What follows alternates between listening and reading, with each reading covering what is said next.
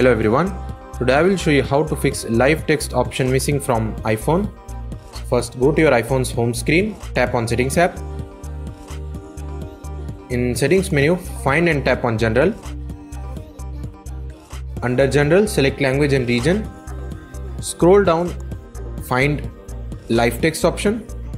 If you want to turn live text on or off, tap on the switch next to the live text option. This is how you will turn it off or, or turn it on.